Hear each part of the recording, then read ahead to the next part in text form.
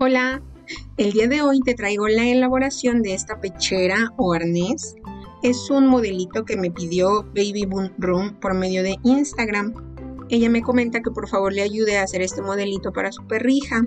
Ella también me menciona que pues no hace mucha ropita, que realmente ella me dice que no sabría cómo hacerla, de las medidas, dónde se toman las medidas, cómo se toman. Sí te puedo ayudar en este caso, no te vas a saltar la parte de las medidas, esa parte sí no, pero sí te puedes saltar la parte del molde base tipo polo. ¿Por qué? Porque lo estamos haciendo a partir de las medidas de nuestro chamaco. No necesitas un molde como tal, puedes empezar desde cero y te va a quedar de verdad que te va a quedar.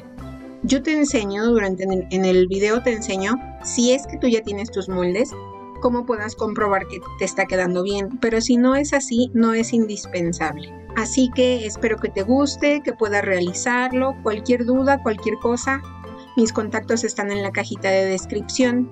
Pues sin más, comencemos necesitamos para hacer este arnés? Nos vamos a guiar o vamos a tomar en algún momento estos moldes que son el molde base vestido como para tener cierta referencia, pero no son indispensables. Si no los tienes, no importa. De hecho, vamos a hacer este molde desde cero. Pero si te dejo aquí en la esquina superior derecha el video en el cual te enseño a tomar las medidas, porque pues eso sí es importante, que sepas cómo tomar la medida del cuello, del pecho, Nada más, el largo lomo en esta ocasión no lo vamos a usar. En esta ocasión necesitamos una medida que es de hombro a hombro. Aunque tú sabes y te he dicho muchas veces que estos chamacos no tienen hombros, pero tú imagínate que aquí es el hombro. Tú vas a tocar a tu princesa aquí y vas a sentir como un huequito. Un huequito, un huesito, así, medio prominente. Bueno, de aquí del huesito hasta el otro huesito, este es de hombro a hombro esta medida, que en mi caso o en el caso de mi princesa son 18. Y el largo arnés es qué largo tú le vas a dar. Esa medida es como si tú aquí hicieras un cuadrado. Mídelo desde la base de su cuello hasta el largo que tú quieras darle. Eso ya es muy variado. Puedes, es que puede ser de muchas formas. Puede ser una pechera corta, como la que hicimos con el, el tutú. Si no has visto ese video, aquí te lo dejo pero en este caso la quiero hacer un poquito más larga. Bueno, espero que me quede un poco más larga. Yo estoy dando esa medida de 16, desde su cuello hacia abajo 16. Entonces yo ya tengo las medidas de mi cuadrado principal. Voy a hacer un cuadrado. Es de hombro a hombro, que son 18, por 16 y después nuevamente 18 y 16. Y te va a quedar este cuadrado. Ahora, yo voy a marcar, de, en esta parte tengo que ver cuánto va a ser el ancho. Bueno, no, no es el ancho. ¿Cuánto es lo que va a cubrir la pancita de mi princesa? En este caso el pecho es de 41. 41 si yo lo divido entre 2 me da 20.5.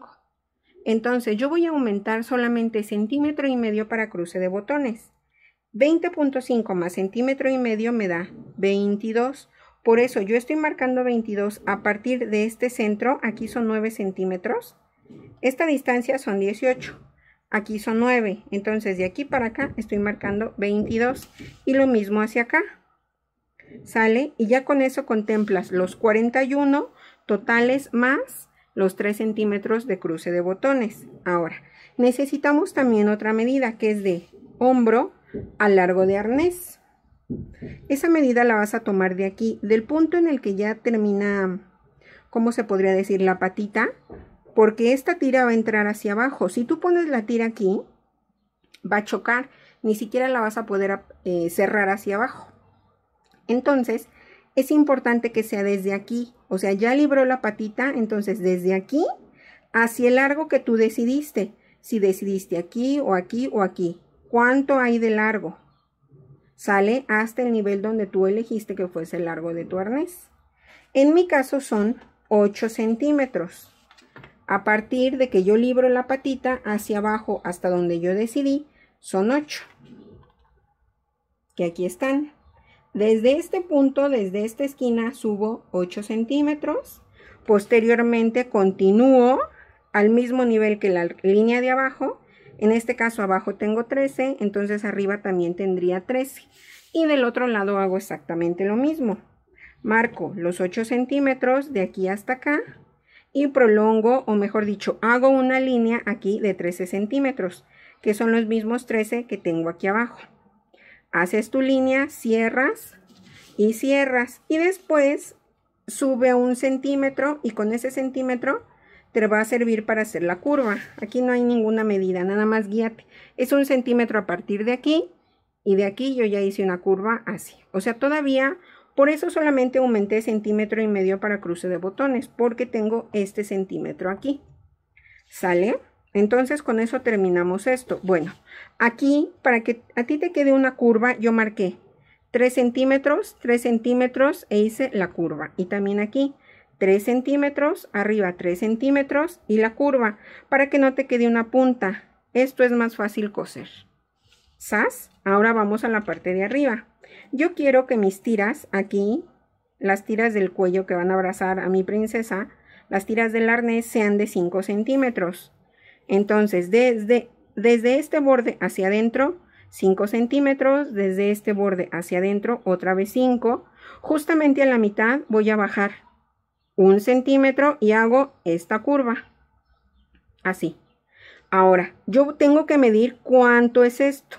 En mi caso, esta curva, si yo la mido con mi cinta métrica, con esta, si yo mido cuánto tengo de curva ahí, tengo 8 centímetros. 8 centímetros que tengo que quitar a mi tamaño de cuello total. En este caso, mi tamaño de cuello son 24. Si esos 24 yo le quito estos 8, me quedan 16. Entonces, yo tendría que poner 8 de un lado y 8 del otro para que me junten los 16 pero yo tengo que dar un aumento para el cruce de esta tira. Por tanto, voy a subir 10 centímetros. A partir de este punto, a partir de aquí, tú vas a hacer una línea hacia arriba recta de 10 centímetros y marcas. Y del otro lado igual. Desde este punto hacia arriba, 10 centímetros y haces tu marca. Ahora, a partir de este punto que tú hiciste, marca un centímetro hacia afuera. Mira, un centímetro hacia la derecha y de este lado un centímetro hacia la izquierda para que nuestro molde abra un poquito, no se quede completamente recto. Ya que tienes esta línea aquí, haz una línea recta y prolóngala 3 centímetros. Tú llegaste hasta aquí, ahorita vamos aquí, hiciste esta línea, ¿no? Apenas vamos aquí, ya marcaste el centímetro, ok. Haz una línea recta de 3 centímetros. Y los 3 centímetros dan aquí. ¿Sale? Con tu regla curva o al tanteo, como a ti se te facilite, vas a hacer esta curva de aquí. Mira, la puedes, puedes poner tu regla, pero no de la parte más curva. O si es una curva muy ligerita, o sea, de verdad es bien sutil. Y tú tienes que irla como moviendo, porque no te va a cuadrar con la curva que ya tienes acá. O sea, nada más es así como que bajar poquito y aquí hacerle así una redondez. Y listo. De este lado, así. Y del otro lado igual. Y en la parte de afuera lo mismo. Desde este punto del centímetro que saliste, con la misma regla curva o al tanteo como tú quieras, vas a hacer lo mismo desde este punto hacia abajo. Y de este lado igual, desde el punto que marcaste del centímetro hacia abajo. Y listo, ya nos están quedando los tirantes. Aquí lo que hice nada más fue subir un centímetro, si no me equivoco, exactamente, y le hice esto. Otro centímetro y la curva. ¿Sas? Entonces ya nos quedaron los tirantes que están abriendo un poquito, ya tenemos esta parte curva. Ya también le dimos curva aquí y ya tenemos la tira que va a cubrir la pancita por abajo. Yo te recomiendo si es que tú lo estás haciendo para tu perrijo o tu perrija, que antes de que lo hagas en tela, o sea, ya que lo tienes así, lo recortes. Y cuando tú recortes te va a quedar algo de este estilo. Así como lo tienes, pónselo. Dile, a ver, ven, ven, cariñito mío.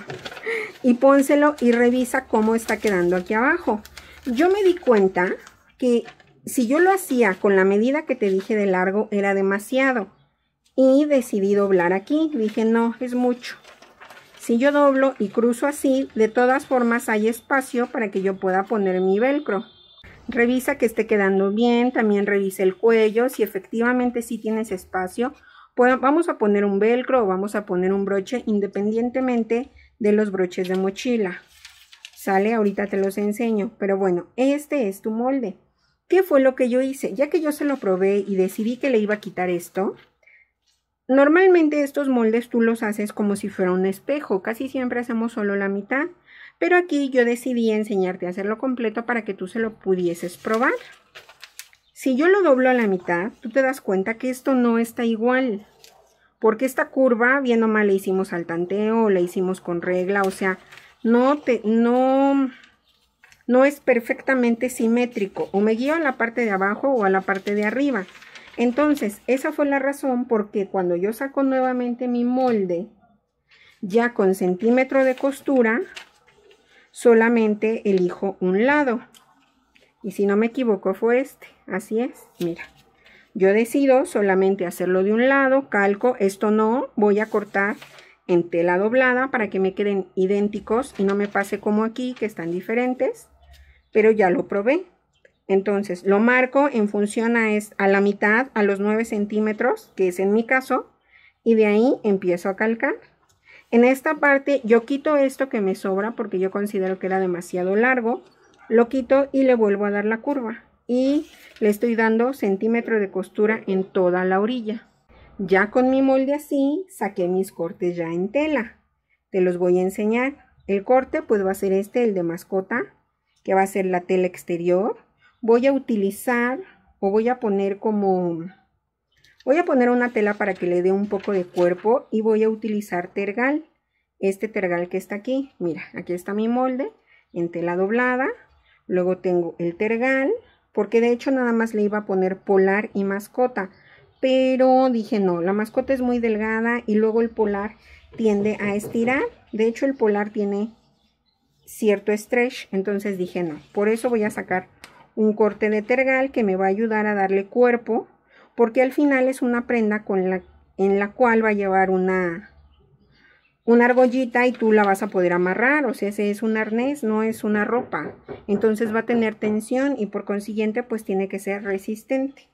También voy a necesitar, ah bueno, antes de esto, déjame enseñarte algo porque te dije que tenía mis moldes. Si tú ya tienes tus moldes, ¿cómo puedes corroborar que efectivamente está bien este tamaño? Si yo pongo aquí encima mi molde, en primera el cuello casa, o sea, extrañamente casa. Y mi manguita también.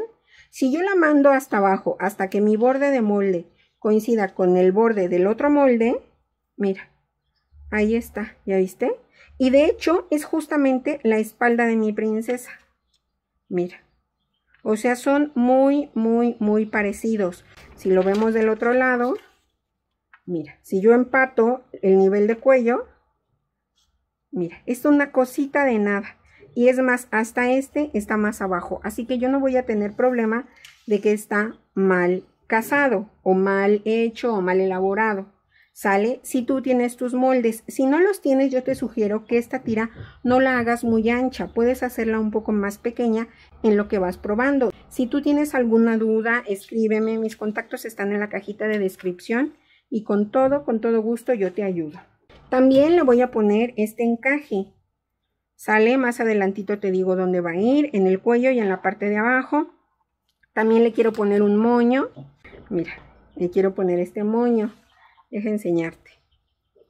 Va a estar así. Este moño va a ir aquí en medio. Y este encaje. Bueno, yo digo que te voy a enseñar y tú ya viste el modelo completo, ¿eh?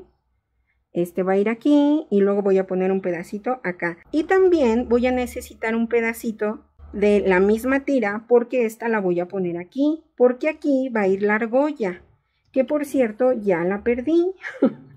no, no es cierto, aquí está. Aquí le voy a meter una argolla, la argolla va a entrar así, ahí está.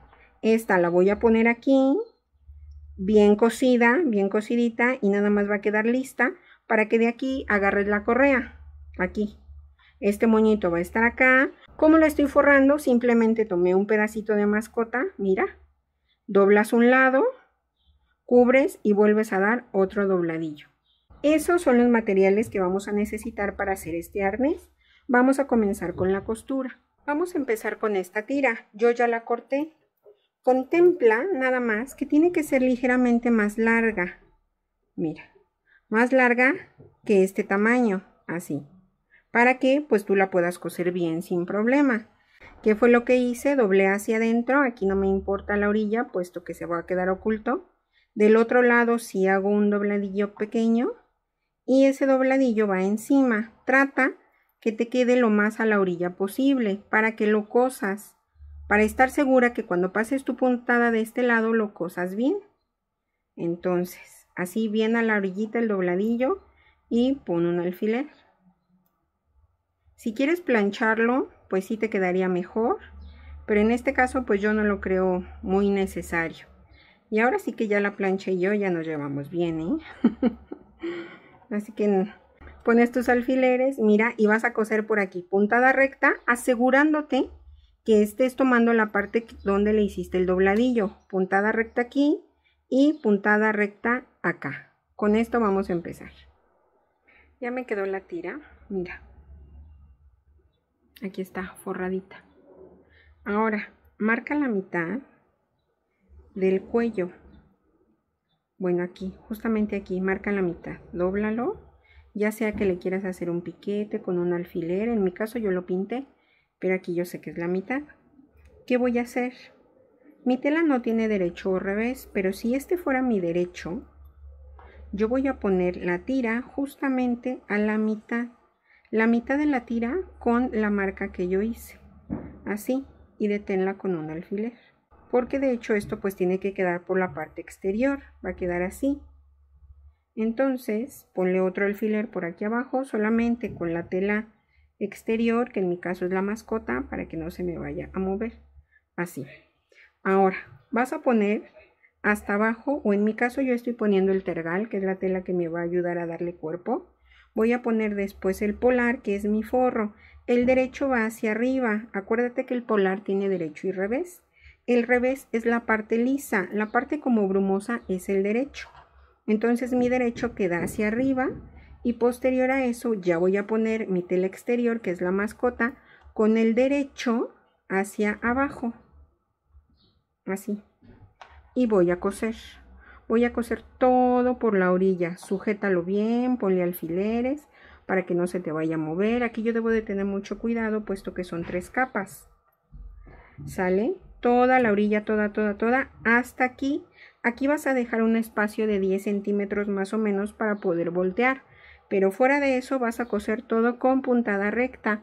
No es necesario remallar puesto que se va a voltear.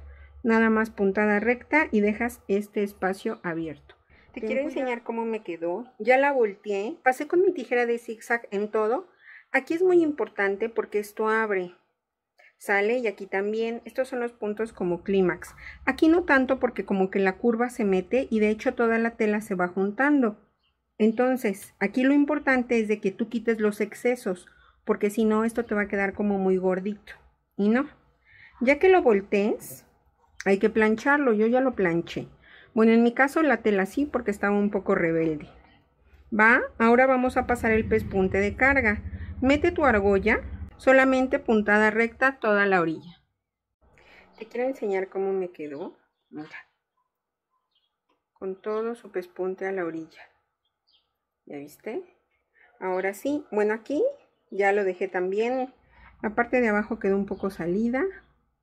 Pero bueno, acuérdate que aquí todavía vamos a poner un encaje. Que era lo que estaba haciendo ahorita. Yo que te sugiero, ¿hasta dónde lo vas a poner? Si tú lo dejas aquí, yo siento que va a quedar cortito. De esta distancia del espacio de este borde hasta el final de la tira a la mitad. Y de acá también. A los cálculos yo ahorita no lo primero lo voy a pasar en la máquina así un piquito para que quede la punta hacia adentro. Y ya que quede adentro ya lo acomodo porque la otra vez que crees no me acuerdo que hice y ay no las me peleé tanto con las puntas que dije ay no y ya que tenga la punta así Mira, aquí está mi borde, lo doblo, lo doblo. Le voy a pasar unas puntaditas aquí y del otro lado igual y ya lo coso. En la parte de arriba del cuello lo mismo. Voy a doblar un poquito de ambos lados y es igual. No lo vas a poner todo. Solamente contempla que sea la parte de arriba, lo que va en la espalda. Esto que va en la parte de abajo no, solo de lo de la espalda. Y esta tira, que ahorita todavía la tenemos suelta, ya la vamos a fijar. Cose por aquí, por la puntada que ya tienes, cósela. Lo más cerquita que puedas, sáltate, bueno, bríncala y otra vez hacia acá.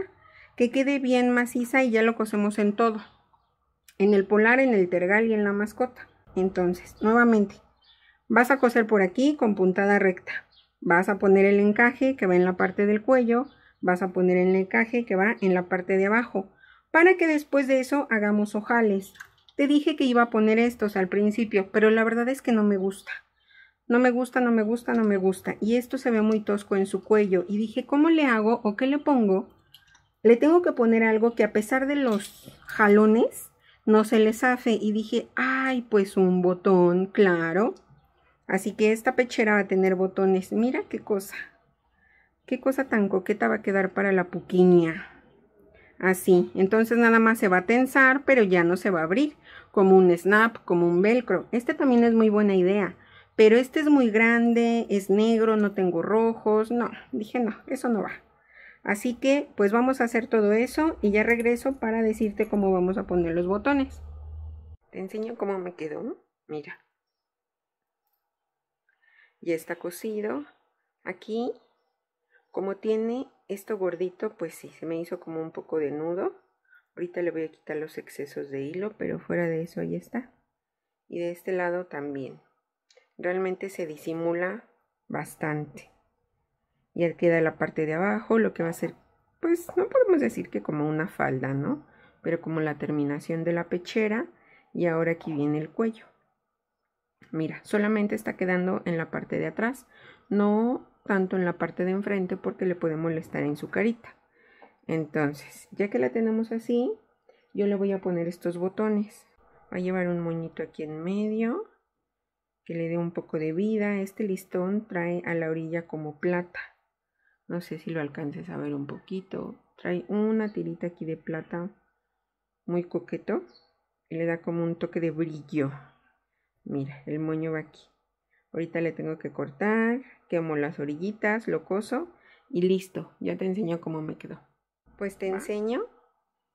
Mira, ya me quedó. ¿Qué te parece esta cosita tan más coqueta? Mira. ¡Ay, qué hermosa! Aquí quedó con sus botones.